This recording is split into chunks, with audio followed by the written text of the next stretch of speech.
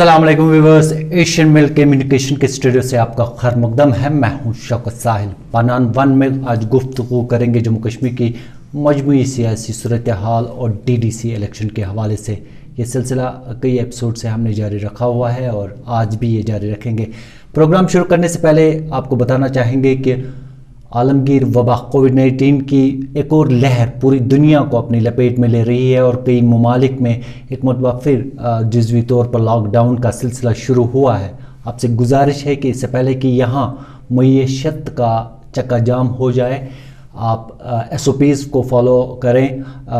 घर से बाहर निकलते वक्त मास्क का ज़रूर इस्तेमाल करें। प्रोग्राम शुरू करते हैं। वन ऑन वन में आज हमने अपने स्टूडियो में दावत दी है जनता दल यूनाइटेड के जनरल सेक्रेटरी मिर्ज़ा सजाद हुसैन, जम्मू कश्मीर के ये जनरल सेक्रेटरी है और जम्मू कश्मीर में ये इलेक्शन इंचार्ज भी है। बहुत बहुत खैर मकदम सजाद साहब आपका और बहुत बहुत शुक्रिया, आपने हमें अपना कीमती वक्त दिया। आपकी पार्टी डीडीसी इलेक्शंस में हिस्सा लेने जा रही है। क्यों? हमारी पार्टी एक गरीब आवाम की पार्टी है। जिस गरीब आवाम को हमने बिहार में शराबबंदी की तलब ख़त्म किया, उसको, शराब को वहाँ पर हमने ड्रग्स को ख़त्म किया, जो बिहार इसका गढ़ माना जाता था। और बिहार के लोगों ने पिछले दिनों साबित करके दे दिया कि नीतीश कुमार जी जेडीओ एक ऐसी पार्टी है जिसकी हमें ज़रूरत है। और आज के दिनों में आप देख लीजिए, यहाँ पर मुझे नहीं लगता है कि कोई और जमात लोगों के लिए काम कर रही। जेडीयू एक सच्चे लोगों की जमात है जेडीयू एक गरीब आवाम की जमात है और इस एक चीज़ को हम लेकर बाहर आए हैं। शायद आपको पता होगा कि हमने एक होम मिनिस्टर भी हमारा रहा है कश्मीर में। तो ये जितनी भी पैदावार है आज की ये सियासी जमातें ये जेडीयू से निकले हुई। अच्छा जेडीयू एक कौमी सतह की सियासी पार्टी है। जम्मू कश्मीर में इलाकाई पार्टियों का अपना एक रोल है या फिर उनकी फुटिंग है ज़मीनी सतह पर। क्या आप कामयाब हुए हैं? आपको कहाँ पर लगता है कि कहीं पर यहाँ पर कोई पार्टी इलेक्शन के लिए उतर रहे लोगों के दर्द के लिए उतर रही आपको लगता है किसी जगह पर है? मुझे तो नहीं लगता है। अगर हम 370 की बात करें जो आज के जमातें ये कह रही है कि हमने गुप्कार गेंग जो, गुप्कार का जो दूसरा इन्होंने यहाँ पर एक बहतून या फिर कशर को बना बहतून को रिमो खड़ा ये मुझे लग रहा है कि एक नई हुरेत कॉन्फ्रेंस यहाँ पर खड़ा हुआ है। ये कोई गुप्कार डिक्रेशन नहीं है, ये सब कुछ झूठ है। अब आप जेडीओ को देख लीजिए। जेडीओ तब एनडीए में था जेडीओ हम पार्टनर थे बीजेपी के उस टाइम पार्लियामेंट में जब हमारे 25 मेंबरों ने 370 पर वॉकआउट किया पार्लियामेंट से। पॉलिटिकल अलायंस है वो people's alliance for Gupkar declaration उसको गेंग करार देना इस सही किस हद तक है? गेंग नहीं गेंग तो छोड़ दीजिए। मैं उनको कह रहा ये हुरेत कॉन्फ्रेंस की दूसरी एक जमात है। हुरेत कॉन्फ्रेंस को यहाँ पर बंद कर दिया। हुरेत कॉन्फ्रेंस का अब यहाँ पर चल नहीं रहा है। आप देख लीजिए आजकल हुरेत कॉन्फ्रेंस वाले कहाँ हैं? कोई दिखाई नहीं दे रहा है। अब दूसरी जमात को इन्होंने खड़ा किया इन्होंने पहले भी कश्मीर के साथ यही किया गेम खेली। मैं आपको एक ही गेम पहले बोलता हूँ इन्होंने पहले बोला इलेक्शन से पहले इन्होंने बोला जब तक 370 वापस नहीं मिलेगा हम लोग इलेक्शन नहीं लड़ेंगे। और जब इलेक्शन का डेट नोटिफिकेशन जारी हो गया उन्होंने इलेक्शन कॉन्टेस्ट किया। लोग जनता दल यूनाइटेड को मैंडेट क्यों देंगे? हाँ मैं कहता हूँ लोग क्यों देंगे? आप देख लीजिए 370 की मैं बात करता हूँ। हम एनडीए में शरीक थे। बीजेपी के साथ शरीक थे हमारे 26 मेंबर पार्लियामेंट में। और 26 मेंबरों ने पार्लियामेंट से वॉकआउट किया कि बोला, ये कश्मीरी के लिए जुल्म है 370 टूटा। क्या वो काफ़ी नहीं है? क्या वो काफ़ी नहीं है? फारूक अब्दुल्ला जब जेल से छूटा, उसने कहा, पार्लियामेंट में मुझे फोर जी चाहिए। हम लोगों ने तो एनडीए में रह के उनके साथ शरीक रह के भी हमने वॉकआउट किया पार्लियामेंट से, और हमने किसी जगह पर साइन नहीं किया। हमने बोला, ये कश्मीरों के साथ जुल्म है। इससे बड़ा क्या सबूत दे दे हम लोगों को? हमने नेशनल कॉन्फ्रेंस की तरह या पीडीपी की तरह झूठ नहीं बोला। हमने सच बोला कि हम इसके खिलाफ है, और वो हमारे मेम्बरों ने साबित करके दे दिया, जो पार्लियामेंट से बाहर हो गए।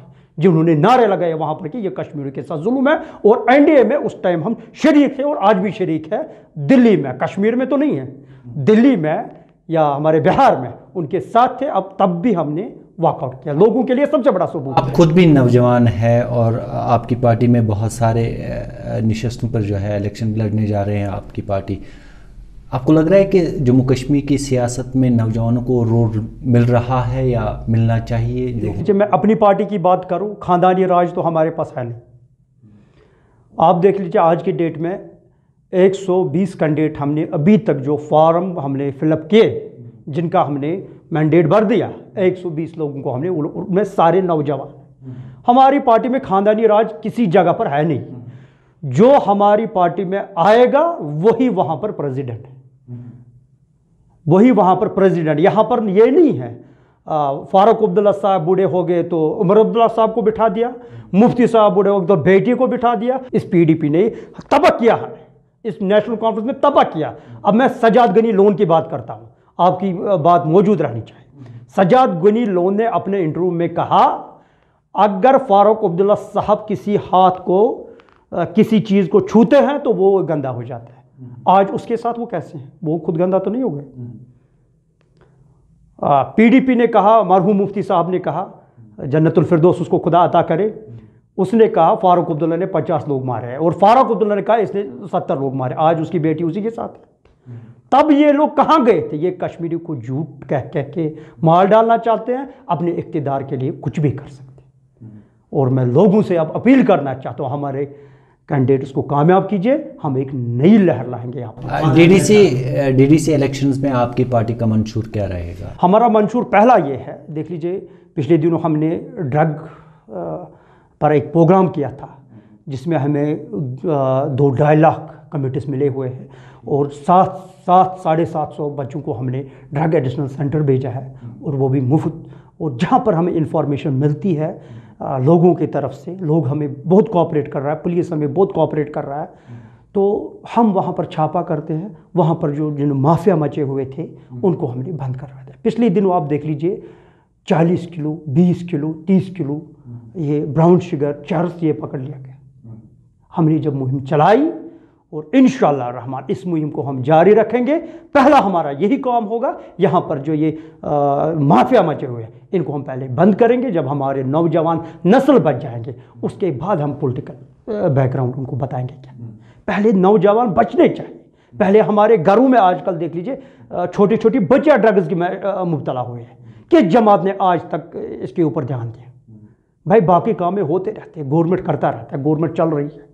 मगर पहले हमें ध्यान देना है हमारे घरों में हमारे खानदानों में ये जो ड्रग मन अगर डीडीसी अगर डीडीसी इलेक्शंस में जेडीओ को मैंडेट मिलता है तो तरजीहत क्या रहेगी? आपकी प्रायोरिटीज़ क्या? हमारी पहली प्रायोरिटीज़ रहेंगी कि यही ड्रग्स खत्म होना। पहली प्रायोरिटी हमारी यही है कि यहाँ पर जो दुकानें खोली है, जिसमें इन्होंने लाइसेंस इशू किया है गवर्नमेंट ने, पहले हम उन दुकानों को बंद करेंगे। चाहे हमें सड़क पर आना चाहे चाहे हमें सड़क पर सोना चाहे, हम इन चीज़ों को बंद करेंगे। तिकाज पिरवर या दिमुन सरोवर बंद। कि पहला हमारा वही मिशन रहेगा, उसके बाद हम विकास की तरह जाएँगे। क्योंकि यहाँ पर बेरोजगारी आप देख लीजिए कितनी है। एक तरीके से हमें तीन साल तो अभी हमें बैठे हुए हो कोई काम नहीं। बेरोजगारी ख़त्म करने के लिए आपकी पार्टी के पास क्या एजेंडा रहेगा? किस तरह बेरोजगारी बेरोजगारी ख़त्म कैसे होती है? अभी आप देख लीजिए हमने 120 बंदों को उठाया। इलेक्शन के लिए हमने 120 बंदों को उठाया। हमारा मंसूब जिसको भी हमने उठाया पहले हमने उसको गाइडलाइन दी कि अगर आपके इलाके में कोई काम होता है आप पहली प्रेफरेंस अपने मोहल्ले को दे दीजिए। आपके मोहल्ले में ये काम कौन करता है?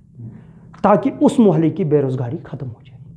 अगर भाई मेरे कहाँ पर कोई काम भंड बनाना है, उसमें 200 लोग लगते हैं, अगर उसी मोहल्ले के हो जाएँगे, क्या आपको नहीं लगता है बेरोज़गारी ख़त्म हो जाएगी वहाँ पर? और हम कोशिश कर रहे हैं गवर्नमेंट ऑफ़ इंडिया से हम बात कर रहे हैं, हम लोग अभी इस सिस्टम को एक बना रहे हैं, जैसे यहाँ पर यहाँ पर हमारा अखरोट है।